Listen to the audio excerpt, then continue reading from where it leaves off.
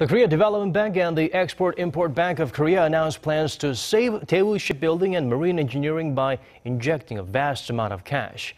Ji-won looks into whether it will be more than just a quick fix. Daewoo Shipbuilding and Marine Engineering, Korea's second largest shipbuilder, will be supported by a vast amount of money from its creditors. The Korea Development Bank and the Export-Import Bank of Korea, also known as Korea Exim Bank, will pump in roughly 3.7 billion US dollars to the company. The fund will be used for recapitalization and liquidity support, and the plans to decrease the company's debt ratio from 4,000% to 500% by the end of next year. The aid will come in exchange for the shipbuilder's selling of non-core assets, cutting down wages of executives by 10 to 20 percent, and downsizing some 300 manager-level officials. The company will also be pushed for privatization.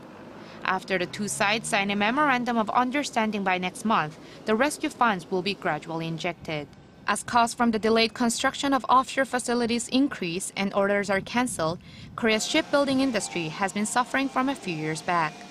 The country's second largest shipbuilder recorded an operating loss of over 3.7 billion US dollars in the first three quarters of this year. However, experts doubt these measures will be enough. Ship orders are expected to be more stagnated next year, and such uncertainty is a negative factor.